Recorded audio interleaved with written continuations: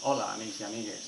Sou Lluís Mesa, cronista oficial d'Estivella, i vos convida a la meva població a conèixer el seu important itinerari cultural, patrimonial i les seues rutes ecològiques. Podreu disfrutar d'un mes d'agost agradable coneixent tot allò que tenim així. I, com no, podeu conèixer-ho a través de les notícies de Javier Mesa i Reig.